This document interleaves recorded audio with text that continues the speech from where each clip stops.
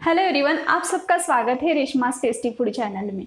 आज मैं आपके साथ रेसिपी नहीं तो दिवाली के लिए कुछ खास इंपॉर्टेंट टिप्स शेयर करने वाली हूँ तो इस वीडियो को एंड तक ज़रूर देखिएगा।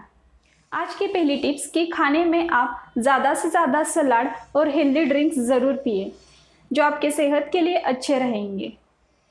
आज की दूसरी टिप्स करंजी बनाने के लिए या फिर आप नारियल की कोई भी और चीज़ बनाना चाहते हो या रेगुलर भी खाने में आप इस तरह का डार्क नारियल ही यूज़ करें। एक इससे लाइट कलर होता है और एक डार्क कलर ए होता है। इसकी प्राइस थोड़ी ज़्यादा होती है, लेकिन ये टेस्ट में बहुत ही अच्छा होता है।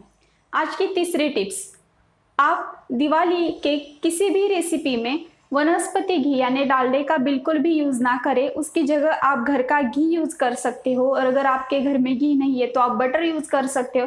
बटर में भी बहुत सारी वैरायटी है। आप कौन से भी ब्रांड का यूज़ कर सकते हो।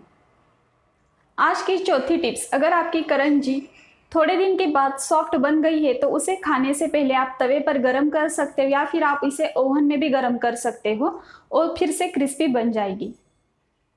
आज की पांचवी टिप्स, दिवाली के सीज़न में कभी भी रेडीमेड मिठाई बिल्कुल भी ना खरीदे। इन दिनों में ज़्यादा क्वांटिटी में मिठाई बनाई जाती है तो मिठाई बनाने के लिए जो मावा और दूध का इस्तेमाल किया जाता है, वो मिलावट का होता है।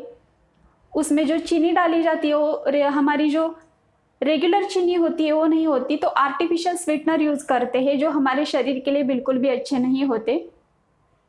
अगर आप घर पर मिठाइयाँ बनाना चाहते हो तो कुछ रेसिपी मैंने अपलोड की है और उन सब की लिंक आपको इस वीडियो के नीचे डिस्क्रिप्शन बॉक्स में मिल जाएगी। आज की छठी टिप्स अगर अनार अनारसा तलते वक्त गुड़ रहा है तेल में या फिर घी में तो आप अनारसे के आटे में सूजी डालकर फिर से इसे गूंथ लीजिएगा। रात भर इसे आप फ्रिज के बाहर ढककर रख दीजिएगा और नेक्स्ट डे फिर से आप अनारसा तल सकते हो। आज की सातवीं टिप्स।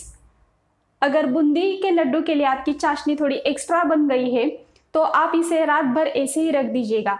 चाशनी और बूंदी रात भर रखने के बाद आप इसे नेक्स्ट डे फिर से लड्डू बना सकते हो। आज की आठवीं टिप्स। अगर आपकी चकली सॉफ्ट बन रही है तो आप इसमें थोड़ा सा फिर से चावल का आटा डालकर बना सकते हो। चकली का आटा कभी भी एकदम ना बनाएँ, उसे कटोरी इतना ही आटा गूंद कर चकली बनाकर देखें।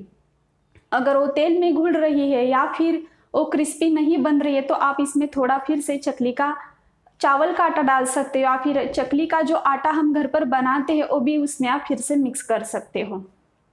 इसके अलावा आपकी चकली बहुत ही क्रिस्पी बनाने के लिए, जब आप उसमें तेल डालते हो, तेल बहुत ज़्यादा गर्म करके डालिएगा, आपकी चकली क्रिस्पी बनेगी। तो ये थी आज की कुछ Diwali special tips I hope आपको अच्छी लगी हो तो इस वीडियो को लाइक कीजिएगा और चैनल को सब्सक्राइब कीजिएगा। मिलते हैं अगले वीडियो में किसी एक नई रेसिपीज़ के साथ, तब तक के लिए बाय